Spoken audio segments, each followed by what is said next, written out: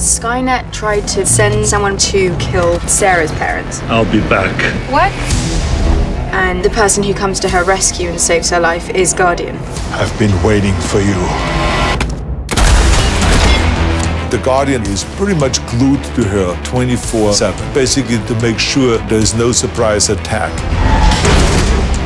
Pops. Nice to see you. The relationship is very much a father daughter relationship. Come on! Sarah Connor, seatbelt. But he's not human, so there's only so much you can get off him. Where is he? I think people can really expect great entertainment.